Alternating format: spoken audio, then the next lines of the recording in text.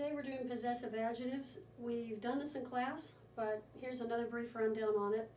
The good thing is if I'm going too fast on the video, you can always pause it and go back. So don't forget that. Okay, so we have already done ein words, indefinite articles ein and eine. Possessive adjectives work the same way. So possessive adjectives are things like my, your, his, its, her, their, our, y'all's, and you're polite. So I've got them listed here.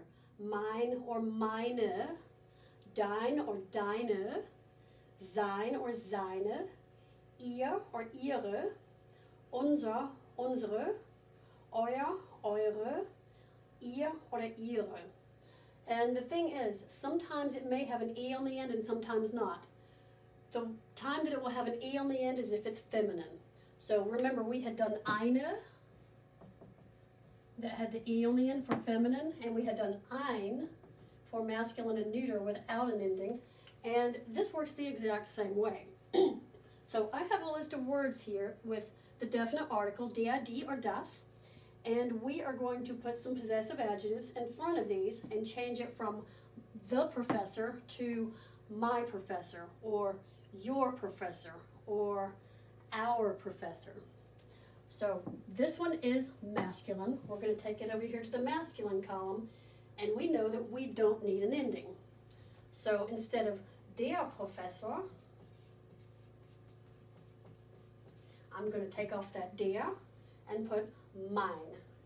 Mein Professor. My professor.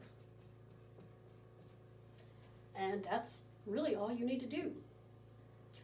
Okay, now this one, die Landkarte. This is feminine, so we're going to take it over here to feminine, and we know it's got to have an E at the end. So we're going to take off D, and let's see, we want to make this your, your map. Deine Landkarte. And make sure you do pronounce that E on the end. We don't ignore E's on the end in German, like we do in English. Deine, deine Landkarte. okay, the next one is das Buch. Das is neuter. We're going to take off that das, move it over here to the masculine neuter column. We don't need an ending because it's der or das. And let's, let's make this one our book. Unser, unser Buch. Das ist unser Buch, that's our book. Die Uhr, that's feminine, take off the D. And we know we will need an ending.